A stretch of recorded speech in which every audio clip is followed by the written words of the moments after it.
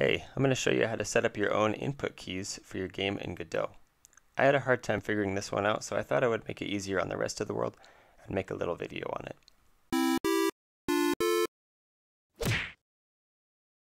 Hey everyone, my name is Artindi and this is a Godot Game Engine tutorial on setting up your own input.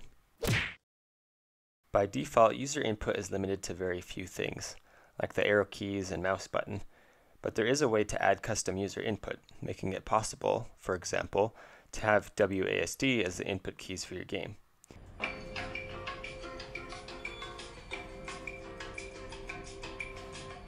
Here you can see I type UI and underscore. The drop-down autofill shows all the possible user inputs. I'm going to show you how to edit these options and add more, giving you the power to do almost anything.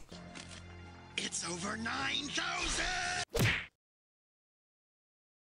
Click on Project, Project Settings, and Input Map. Here's listed all the current types of input. If you're opening this for the first time, it should have all its default settings. You can edit the default settings by clicking on the little pencil icons, or just add completely new ones here at the top. You can name your inputs anything you want, but I would put underscores between words. Listed at the top of each of the inputs is the name that will appear in the autofill dropdown.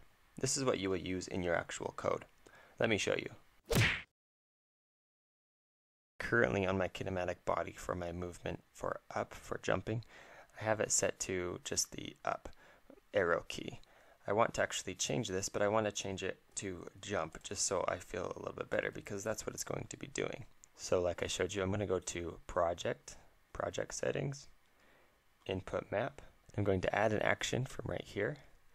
I'm going to call this one jump. I'll pop it in at the bottom.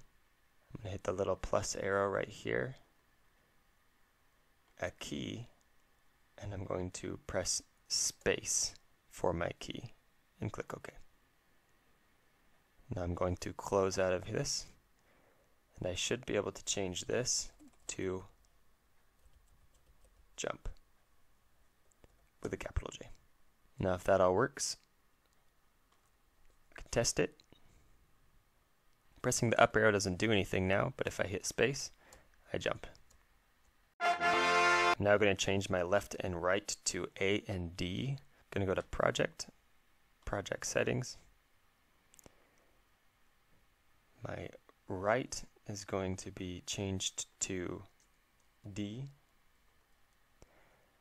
And my left is going to be changed to A. And now when I press A and D, I move back and forth and space will allow me to jump, moving control of the character to my left hand, which I think is preferred if I want to do something with the mouse later on in my game. So there I just showed you how to add a new input as well as edit an existing one. Really it's super easy. Hopefully this little tutorial helped you because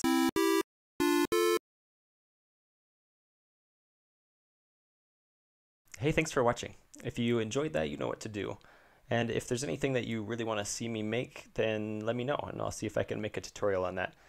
Leave a comment or a question or suggestion down below. I love feedback or you can shoot me an email. Thank you so much.